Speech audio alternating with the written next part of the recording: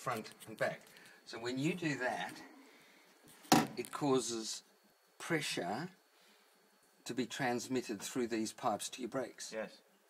Now you can, you've got a number of places where you can have faults. If the if the rubber there's a cylinder, you'll find a metal cylinder with a series of rubbers, hmm. and if those rubbers are leaking, when you do that, all that happens is the hydraulic fluid just goes past the cylinder. Hmm. Instead of being pushed in, it's got to be sealed.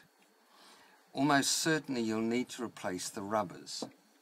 Now the question is, how do we get this master cylinder? It says here. Right. I shall read. Yeah. Because, because All I else tell you fails. what, Read I manual. would not drive a car of this age unless I knew that the master cylinder had new rubbers in it. Because I have had brakes fail on a Morris 1000.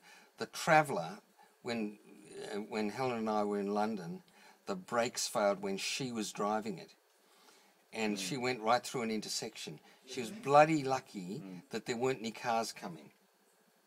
The, f- the the pedal just went to the floor like that. How did you stop? What? How did you stop?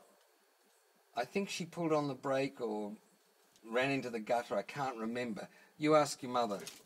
Um, uh, remove the gear lever knob, extract the between the floor panel above the gearbox, and remove the panel. That's a slightly larger panel than the one we've removed, though. Remove the